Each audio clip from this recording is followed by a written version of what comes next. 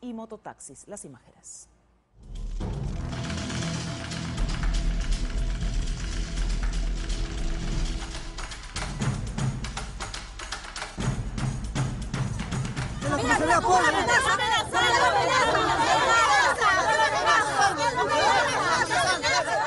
Son dos familias que se acusan los unos a los otros de cobrar cupos para poder circular en mototaxis en el distrito de La Victoria. De un lado está la familia Young, que esta madrugada sufrió un ataque a su casa y a las seis mototaxis que estaban estacionadas afuera del inmueble. Ellos aseguran que la causa de esta agresión fue su negativa de pagar cinco soles de cupo exigidos por la familia Vargas.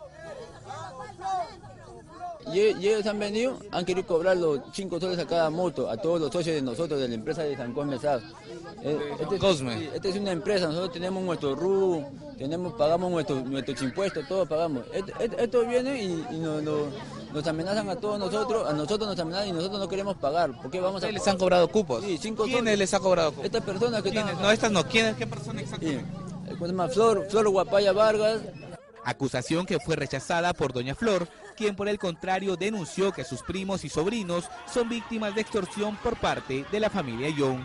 Falso, ¿por qué lo sí? Disculpa, joven, yo no trabajo en moto. En uno yo vendo polo.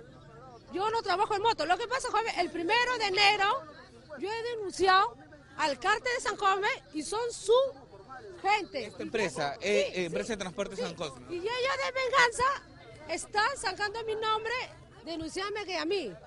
Los miembros de la familia Vargas finalmente aceptaron y justificaron la agresión. ¿Sabes por qué, señor? Porque estamos hartos. A mí hace dos meses acá me agredieron. Yo fui a poner mi denuncia, nunca procedió. Meten a la comisaría, salen. Entonces, ¿en qué país estamos? ¿Dónde estamos viviendo? ¿Ustedes admiten que han sido la responsable? Yo, mi primo y mi hermano, sí, los tres. ¿Por qué? ¿Por qué hicieron eso? Porque le han pegado a mi primo. Le han, pegado, le han reventado la boca a mi primo. ¿Por qué le pegaron a su primo? Porque por cobrar cupos, porque no quieren pagar un solo mi familia. Pero una vez más, los Ayón negaron ser los autores de cobros de cupos en la zona. Han roto todas las motos y, nosotros no hemos ido a denunciar. Usted está viendo que las pruebas están lo que Han roto, han destruido la casa de mi mamá, han destruido la casa de mi mamá. ¿Ustedes no cobran cupos? ¿Nosotros qué vamos a cobrar cupos? ¿De qué le vamos a cobrar cupos a ellos? ¿Qué le vamos a cobrar cupos? Esta es la situación en la que se encuentra el distrito de La Victoria, dos aparentes grupos enfrentados por los cupos que se cobran a las mototaxis del distrito. Lamentablemente, este caos impera en el lugar desde hace varios años. Mafia